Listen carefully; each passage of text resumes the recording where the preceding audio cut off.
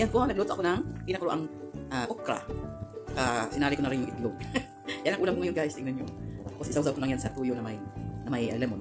Ayun. Mm. So yummy. Yan, ulam na ano, maswerte. oh, okay. Kumukulo-kulo. As you can see guys, ang yan oh, ganda tingnan.